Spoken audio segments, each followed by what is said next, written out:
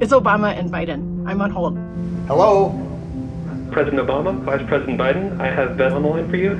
Tell me what's going on in your school. I teach eighth graders, so they're savvy enough to really understand the big picture Right.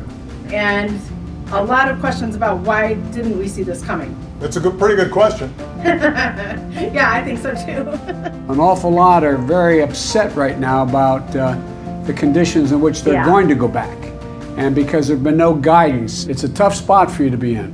right, and there's no consistency. There used to be it, some boundaries around which Yeah, ju- you just didn't politicize certain things. You didn't politicize public health. You didn't politicize school safety, right? There were, there were some things where it really didn't matter what the party was. Everybody presumably wanted to make sure that Absolutely. If children were at stake, if children were involved, you're Right. going to prioritize. Exactly. The good news is, if uh, we do our jobs, then uh, you may have some more consistency, guidance, and uh, help on the way. Because uh, I hope so. God willing. Li- listen, Beth. uh, Part of part of what we want to do is just say thank you for uh, the great exactly work that you're doing, and we're proud of you. And uh, and tell tell your your students that uh, I'm proud of them too.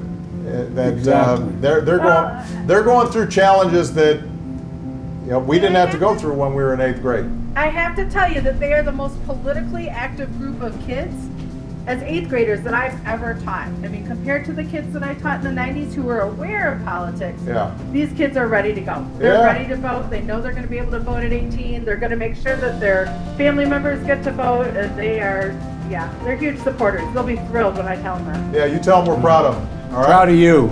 Proud of I you. will. Thank you, thank you, Thanks, thank Beth. Thank you. Be well. Lovely talking to you. Thank you for calling. You you. All bet. right, bye-bye.